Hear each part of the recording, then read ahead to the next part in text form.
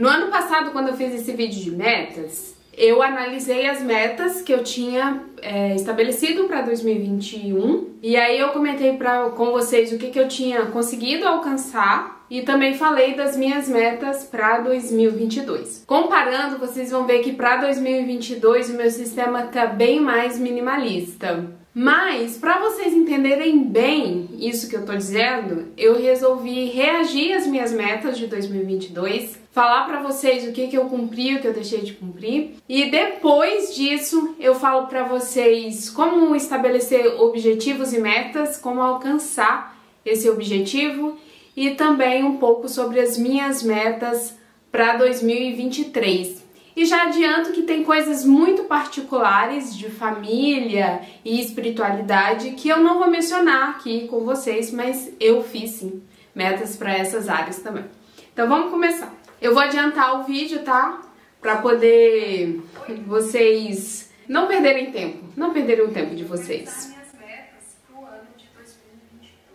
Então aqui nas minhas metas de saúde, eu coloquei ter uma alimentação equilibrada e fazer academia de 3 a 5 vezes por semana, que eu não sabia muito bem como ia ser minha rotina, então estabeleci no mínimo 3 vezes por semana. Mas esse ano foi muito bom. Eu frequentei a academia durante todo o ano, na maioria das semanas, exceto quando eu estava doente, né, ou viajando, eu fui todos os dias de segunda a sexta-feira. A alimentação também consegui manter equilibrada e eu percebi que quanto mais limpa for a minha alimentação, tipo, quanto mais arroz com feijão eu como, melhor eu me sinto fisicamente e mais gordura eu perco. E eu perdi bastante medida esse ano de 2022 e aí estabeleci, baseado nisso, metas para 2023, já já eu falo.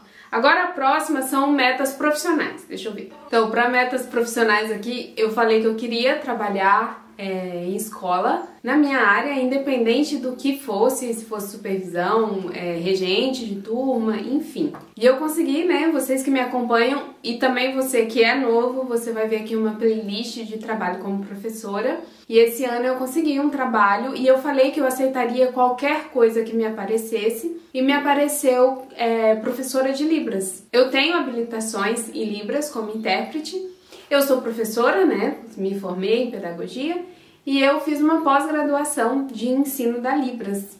E aí encaixou tudo perfeitamente, deu certo. No Instagram, na época eu tinha 800 seguidores. É, hoje eu tenho 2 mil e eu ainda consigo interagir com vocês e responder todo mundo quando eu abro caixinhas de perguntas e quem me manda direct. Se você não me segue, tem um link aqui na descrição, tá? Do meu Instagram.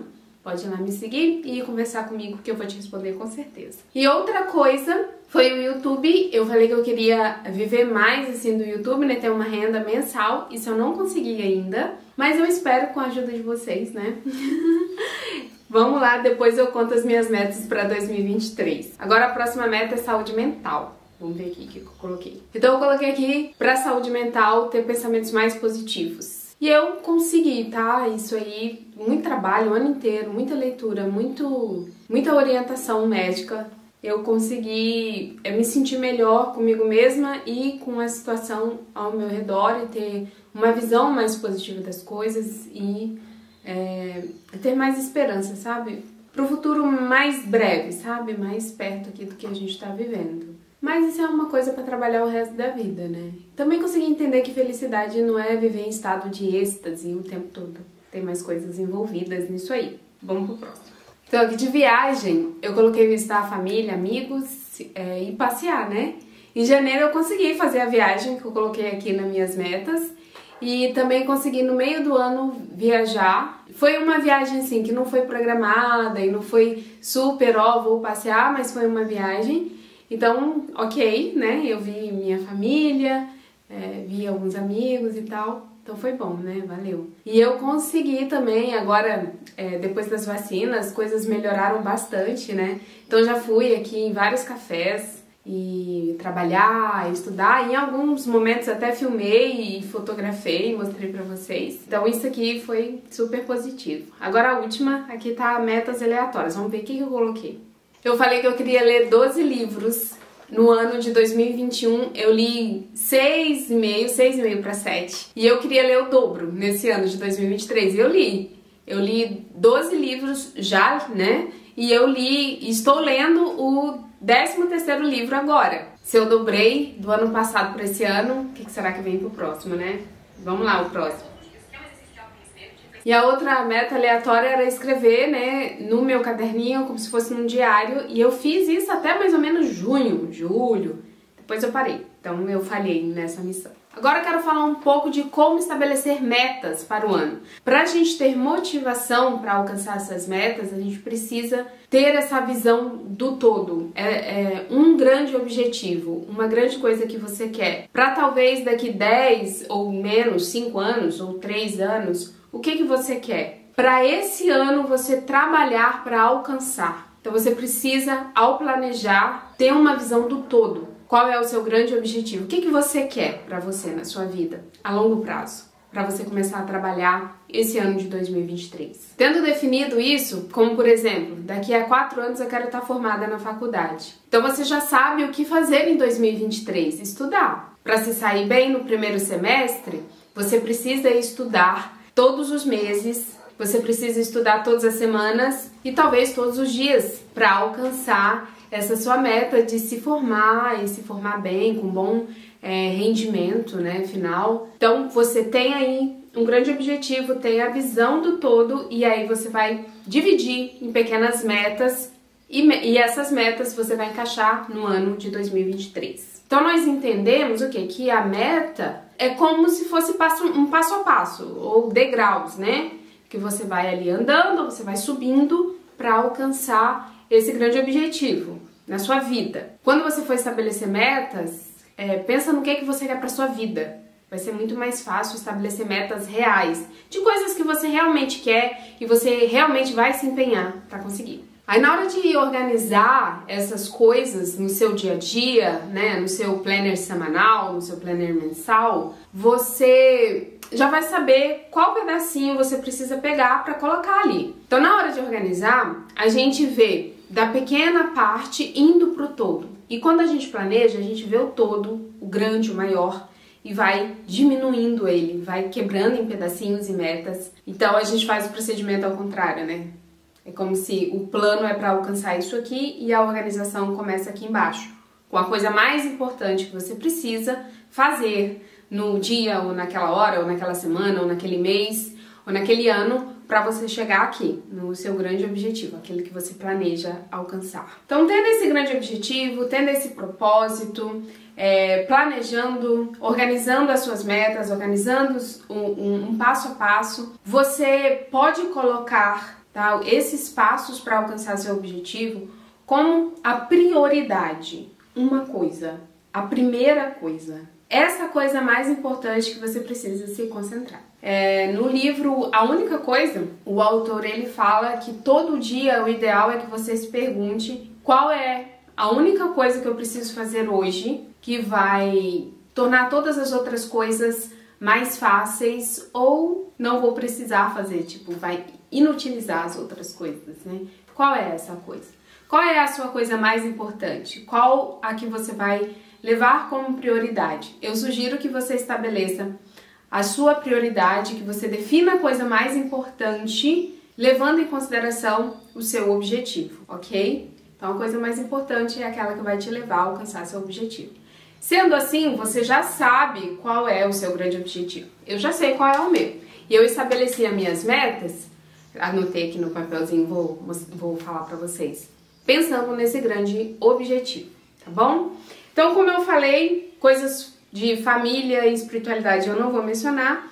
Eu vou mencionar aqui aquilo que vai me levar ao meu objetivo, né? O que eu quero ter daqui três anos, mais ou menos, tá? Que eu coloquei para mim. Eu dividi em duas coisas: em saúde e, e, estudos e profissional. Coloquei numa categoria só. Na saúde, o que, que eu quero fazer?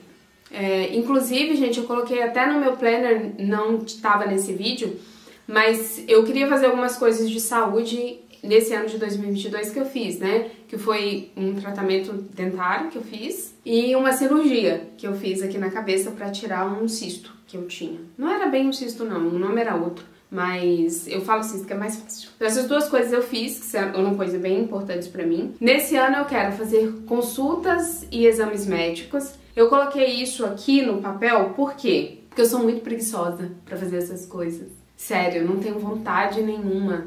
Mas é uma coisa extremamente importante, né? Porque sem saúde a gente não trabalha.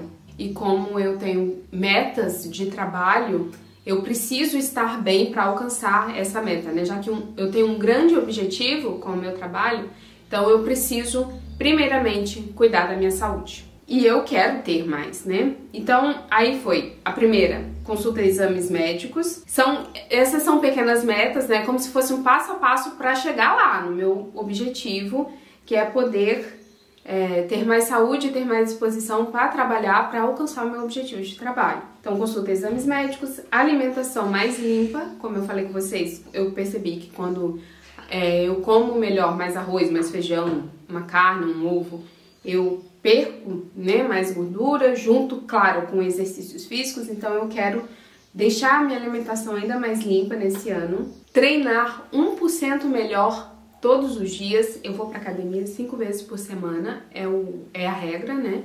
A exceção é quando eu tô doente, aí eu não faço isso. Na minha saúde mental, eu quero ler mais livros de desenvolvimento pessoal e refletir mais e orar mais. São coisas que ajudam a manter a sanidade mental nesse mundo que a gente vive. Então, eu, é, são metas para minha saúde mental e saúde física que vão me ajudar no trabalho né? Quanto mais saúde, mais disposição, enfim. Estudos e profissionais. As minhas metas são terminar minha pós-graduação, que eu comecei, é, fazer mais cursos profissionalizantes na área de marketing, porque vai me ajudar no meu trabalho, também na área em que eu atuo na escola, né, como professora de Libras. Eu quero fazer mais cursinhos assim, mas não quero fazer nada grande, não quero fazer mestrado, não quero fazer outra graduação, porque essas coisas são coisas que tomam muito tempo e eu acho que eu já estou num ponto que eu não preciso, é, que eu posso avançar daqui, entendeu? Eu posso avançar daqui, eu não preciso corrigir a minha base. Posso avançar daqui fazendo pós-graduações é, de menos horas do que mestrado e essas coisas assim, e eu vou me tornar uma profissional melhor, né? eu vou aprender mais. Sem contar, gente, que quando a gente começa a trabalhar, a prática é o que mais ensina a gente. Também ler mais livros sobre esses assuntos e ler biografias. Eu li uma biografia esse ano, 2022, e a gente consegue aprender muito. Eu li uma do Phil Knight, que é o fundador da Nike, e você aprende muito sobre vidas e morais de vida e também sobre o empreendedorismo, né, do profissional. E outro ponto é estudar mais conteúdos que interessam a vocês, para trazer aqui para a internet coisas que realmente vão ser úteis para vocês. Então, essas são metas para o ano que vão me levar ao meu grande objetivo. Daí, tem outras coisas que eu anotei aqui, ó. Na minha meta de saúde, eu acredito que com uma alimentação mais limpa e treino todos os dias, eu vou perder gordura. Então, uma das consequências que eu quero para essas metas é diminuir é, a minha taxa de gordura corporal, né? É, outra coisa também que eu acredito que estudando mais e fazendo cursos e lendo mais, eu vou trazer conteúdos melhores para vocês e vou conseguir melhorar o produto que eu ofereço a vocês, que é o curso de organização na EAD, tá? Se você tem curiosidade de conhecer, o link tá aqui na descrição. Como consequência dos meus estudos e tudo mais, eu vou trazer assuntos que interessam mais a vocês, vocês serão mais engajados isso vai me trazer um salário melhor, porque vocês vão ter mais interesse em adquirir o curso e também assistir meus vídeos, e é aquela coisa, né? Mais audiência, mais visualização, mais anúncios e uma renda melhor. Aí eu coloquei ler 24 livros, já que eu li 6, depois li 12, agora quero ler 24, quero dobrar minha meta e porque eu preciso também de espaços, né? Eu não posso deixar só 12 livros no ano, porque eu quero ler livros de desenvolvimento pessoal, eu quero ver, ler livros de marketing, eu quero ler biografias e eu também quero começar a ler livros de ficção. Né, livros com histórias que eu acredito que são interessantes, eu quero testar isso, porque eu não li nenhum livro tá? De, de ficção. Foi só livros de desenvolvimento pessoal, marketing e biografia que eu li nesse ano. Aí coloquei fazer mais cursos, né? Já tá lá implícito. Uma das consequências que eu quero também com todo esse estudo é aumentar o número de inscritos aqui no canal. É, quero ver se eu consigo chegar a 50 mil inscritos até dezembro de 2023. Você pode me ajudar, se você não é inscrito aqui no canal, se inscreva. e é chegar a 10k lá no Instagram. No vídeo de 2021 para 2022, eu tava com 800 inscritos, 800 seguidores. Agora eu tenho 2 mil seguidores lá, né? Ótimo. A ideia é aumentar esse público, né? E é óbvio que eu quero pessoas mais engajadas, pessoas que realmente se interessam pelo conteúdo que eu produzo lá. Se você se interessar, né, vai lá no meu Instagram, conheça e se você se interessar, comece a me seguir. É isso, minhas metas para 2023. Vocês viram que é, foi bem menos do que eu falei no ano passado e todas as coisas que eu planejei para 2023 vão me levar a um lugar só, tá? Vão me levar a coisa mais importante. Espero que vocês tenham gostado desse vídeo, que ele, que ele tenha inspirado vocês a estabelecer um objetivo para a vida de vocês e metas para serem alcançadas nesse ano de 2023. Muito obrigada por vocês assistirem, foi um prazer ter vocês até aqui e a gente se vê no próximo. Tchau!